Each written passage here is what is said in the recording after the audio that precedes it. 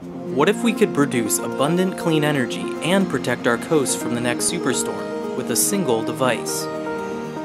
Such an innovation would be a powerful tool in the fight against climate change.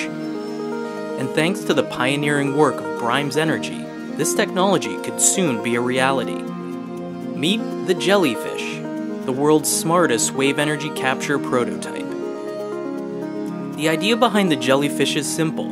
A wave is simply energy moving through water. As the wave moves, water doesn't move with it, but spins in place as it passes. If you can intercept the spin, you can intercept the energy, and you'll not only have an abundant source of clean electricity, but a barrier against coastal erosion. Engineers had already solved part of the puzzle decades ago with the invention of a floating pod called the Duck. The Duck's unique design allowed it to intercept an amazing 80% of a wave's energy, but it lacked a practical way to convert that energy into useful electricity.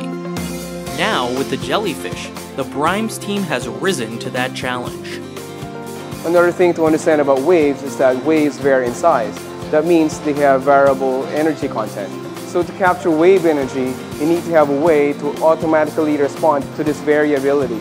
So we created a variable torque power takeoff mechanism that provides less resistance when the waves are small and more resistance when the waves are big. Now we have a simple, scalable device that absorbs wave energy with over 55% efficiency. That's more efficient than the engine in your car or a solar panel, and that number will keep on rising. Another key to the jellyfish's success is its versatility. The unique modular design will allow for a range of applications, from single units for small load purposes to extensive rows for utility scale installation. Our search for the best frame design has taken us through a variety of prototype evolutions. For instance, we started on a horizontal design that would float, but it didn't work well. So this has taken us to the current vertical prototype that has mooring arms that can absorb tension and compression and that keeps the jellyfish from moving horizontally. Along the way, the Brimes innovators have received invaluable support and validation for their ideas through the entrepreneurial ecosystem of the Clean Energy Business Incubator Program at nearby Stony Brook University. CEBIP has an advisory board of 18 people that are instrumental to working with our clients. We have been able to bring Stony Brook University researchers, engineers, and professors to the table to sit down with RAM, to take a look at his mechanical engineering designs, to take a look at his systems that he's developing.